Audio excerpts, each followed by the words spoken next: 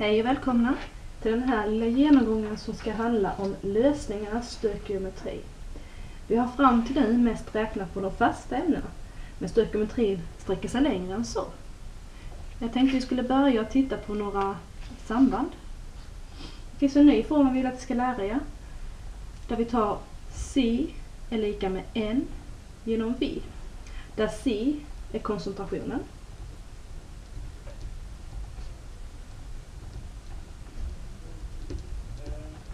Koncentrationens enhet är mol per liter, alltså kubikdecimeter. Och det är liter då, eller mol per liter. Och sen har vi N som är substansmängden.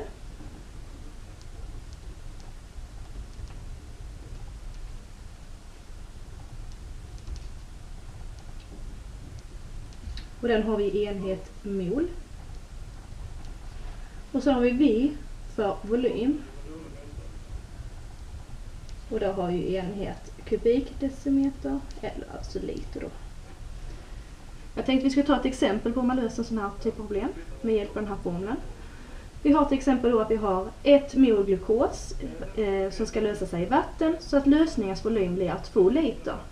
Och då vill man beräkna lösningens koncentration, det vill säga när man har då löst det här fasta ämnet, det här fasta sockret i vatten och totalt blir det 2 liter. Och då gör man så här. Vi börjar med att skriva upp det vi vet. Vi vet att N är 1 mol.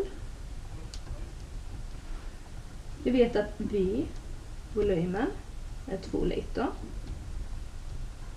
Då använder vi vår formel C är lika med N genom V. Alltså är C lika med 1 delat med 2. Som är samma sak som en halv. En halv eh, mol per liter. Eh, när vi skriver så här så kan man skriva enheten mol per liter. Men man finns också ett snabbsätt och då skriver man stort M ett halvt molar kallar man det. Och molar är alltså samma sak som mol per liter. Ett stort M är en snabbare beteckning för mol per liter. Tänkte vi kunde gå vidare.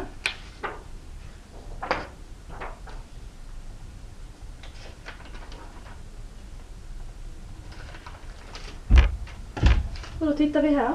Ett problem som man kan eh, stöta på och med hjälp av den här formeln så kan man då lösa det här problemet.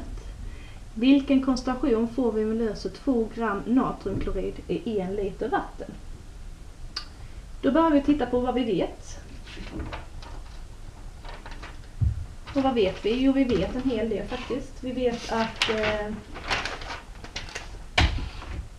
vi har två formler till att börja med. Vi har ju den här C är lika med N genom V och så har vi också en andra formel vi lärt oss sen innan. Vi ser att här har vi ju gram, vilket är fast ämne. Och vi har ju den här formeln att molmassan är gram per mol, det vill säga den här formeln.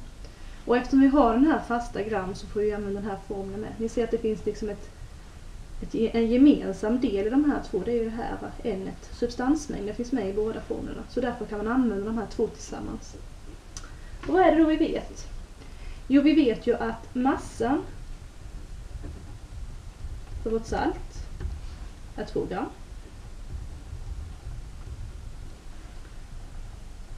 Vad vet vi mer? Jo, vi vet att eh, molmassan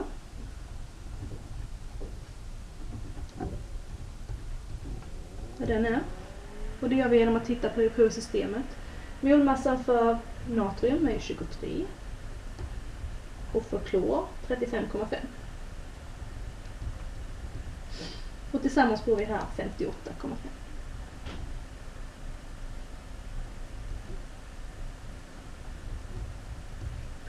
gram per på det här sättet. Substansmängden för natriumklorid. Vi vet ju inte det nu, men det kan vi räkna ut sen. Vi vet inte heller koncentrationen, men det är det vi ska räkna ut. Så än så länge så sätter vi ett frågetecken på den. Vi vet faktiskt volymen. Volymen för lösningen, natriumkloridlösningen, är en liter, det vill säga en diamant. Så då har vi skrivit ner allting vi vet. Nu ska vi då börja att räkna och då räknar vi ut det som vi inte vet och vi har ju eh, två utav tre möjliga i den här formen. Vi har ju molmassan och vi har massan. Vi ska räkna ut substansmängden. Och då får vi kasta om den här formeln. Om vi vet att molmassan är gram per mol. Då kan vi ju helt enkelt bara kasta om den här formeln så vi får att substansmängden är massan genom molmassan.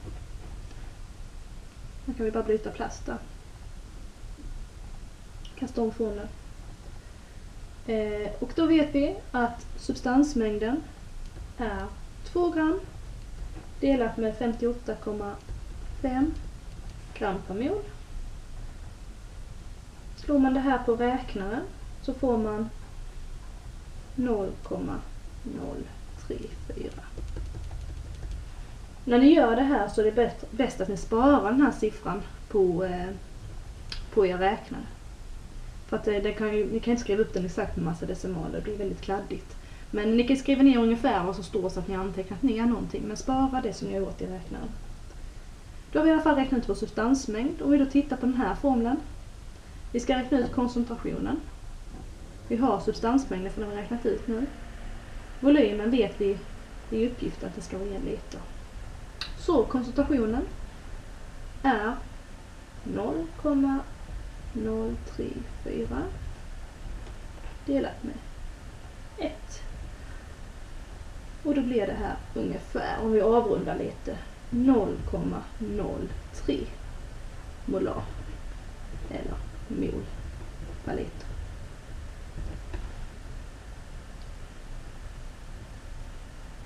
Så det vi gjorde här var alltså att vi skrev ner först det vi visste och sen skrev vi ner det vi måste räkna ut. Genom att ha, jobba så här systematiskt så är det väldigt lätt också om man kladdar bort så här i slutet att man snabbt kan gå tillbaka och hämta rätt siffror. Så eh, i alla fall i början vill jag att ni lugnt och försiktigt skriver ner allting ni vet och räknar ut det ni inte vet.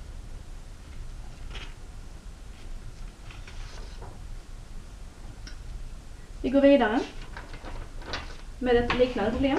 Och då har vi istället kaliumjodat. Vilken koncentration får vi om vi löser 0,2 gram av kaliumjodat i 50 milliliter vatten? Vi skriver upp våra formler igen. Den här, som är vår nya formel. Och den formel vi har lärt oss innan. Den här då De här två ska vi använda även den här gången. Vi börjar på samma sätt att skriva ner det vi vet. Jo, vad vet vi? Jo, vi vet att vi har 0,2 gram av kaliumjodat. Så då skriver vi att massan för kaliumjodat är lika med 0,2 gram. Vi vet också vår molmassa, eller vi kan titta på i periodsystemet. Och om vi tittar på systemet så har vi kalium som har 39,1. Vi har jod som har 127. Och sen har vi syre som är 16 och de har vi ju tre stycken av så vi tar gånger tre där med. Den här räknar vi ut först eftersom eh, prioriteringsreglerna säger att man räknar ut gånger före man räknar ut plus och minus. Eh, lägger vi ihop det här så får vi 214,1 gram per mol. Substansmängden kan vi också räkna ut. Men det gör vi sen. Så just nu sätter vi ett frågetecken på den där. Koncentrationen, ja det är ju det uppgiften säger att vi ska räkna ut. Och än så länge vet vi inte det. Däremot så vet vi volymen på lösningen. Volymen är 50 milliliter. Och som jag sa innan så anges ju alltid volymen i liter så därför måste vi göra om milliliter till liter. Och då tittar vi bara milliliter, centiliter, deciliter, liter. Så det blir faktiskt 0,05 liter. Alltså liter, deciliter, centiliter och milliliter. Och det, vad är det nu vi ska räkna ut? Jo, vi vill räkna ut substansmängden. Och då tittar vi. Vi tar den här formeln som vi hade innan. Och sen så kastar vi om den. Eftersom att den gånger den är den så måste den gånger den vara den. Man kan tänka att man har eh, 20 är lika med 40 delat med 2. Då vet vi ju att 20 gånger 2 är 40. På samma sätt som vi vet att 2 gånger 20 är 40. Så man kan alltså kasta om de här som ordning inte, eh, det finns ingen ordning att räkna multiplikation.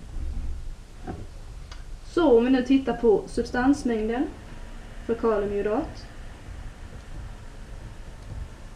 så blir det 0,2 delat med 214,1. Massan genom molmassan. Och då får vi, om vi står det här på räknaren, 9,34 gånger 10 på till minus 4 mol. Ni får gärna själva titta på er räknare och slå det samtidigt som ni tittar på den här filmen.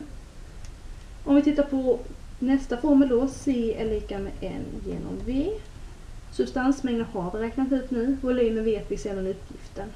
Då kan vi räkna ut den nu.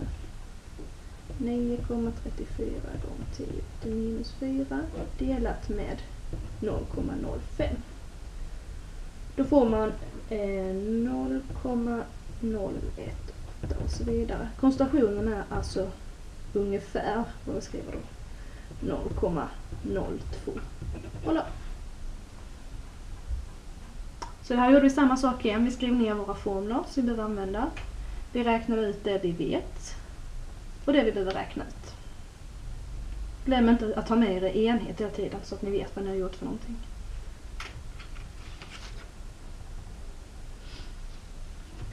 Eh, nu utgick vi från att vi löste fasta ämnen i, eh, i vatten. Men det kan också vara så att vi har en lösning men vill då späda den och då måste man ju alltid bara späda till en som har en lägre koncentration. Vi kan ju inte späda till en högre koncentration. Så det måste man ju tänka på. Så där finns det faktiskt ett samband om man ska späda istället. Och då tittar man på det man har och det man vill ha. Alltså den koncentrationen jag har och den koncentrationen jag vill ha. Och det är en formel som säger att C1, koncentrationen 1, gånger volymen 1, V1, är lika med koncentrationen 2 gånger volymen 2. På den här sidan är det vi har.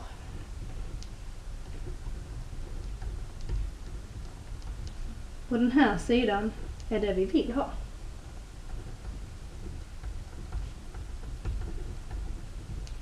Så de här två tar man ju då och ställer relation till varandra.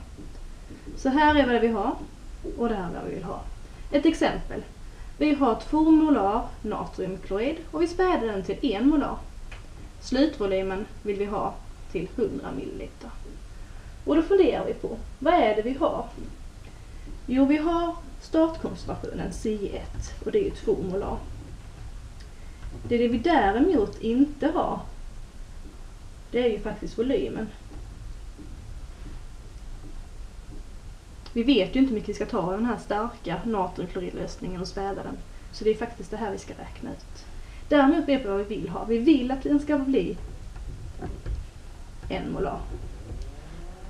Vi vet att vi vill ha 100 milliliter. Och eftersom volymen alltid är i liter så är det alltså 0,1 liter. Så då bara ställer vi upp ett samband. CF gånger V1 är lika med C2 gånger V2. Och så byter vi ut. C1 var ju 2, V1 frågetecken. C2 1 och V2 0,1. Så vi byter ut. Då blir det 2 gånger och så sätter jag ett stort X här för en okänd. Och sen har vi 1 gånger 0,1. Och sen löser vi detta som en vanlig enkel ekvation. Vi har vårt x här som vi vill lösa ut och vi ser att tvåan stör. Så vi delar med två där. Och gör vi någonting på den här sidan så måste vi göra likadant på den här sidan. Så vi delar med två här med. Och då får vi att x är lika med 1 gånger 0,1 delat med 2. Och slår vi det här på räknaren så får vi 0,05.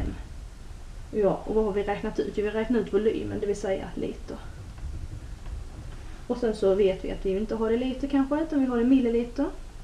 Så att liter, deciliter, centiliter, milliliter, alltså 50 milliliter. Så om vi nu tittar på vad vi har gjort. Jo, vi får ta 50 milliliter av 2 molars natriumklorid. Vi späder den till 1 molar och slutvolym är 100 ml. Så vi alltså kommer att hälla upp 50 ml av den starka natriumkloriden, späda upp resten till, eh, eh till 100 ml. Och det ser man också här att den starkare är ju dubbelt så stark. Så det är såklart att vi ska ta hälften så mycket då för att späda den till hälften. Ungefär som man blandar saft där hemma. Samma tankesätt. Så, det var sista jag hade att göra här. Eh, det ni kommer få göra nu är att ni ska titta på en eh, annan film som handlar om övningar man kan göra hemma. Och det här är övningar som ser ut så här. Övningar att göra hemma, virtuella versioner. Så nästa film ni tittar på handlar om eh, hur man kan jobba med virtuella versioner, alltså laborationer på nätet.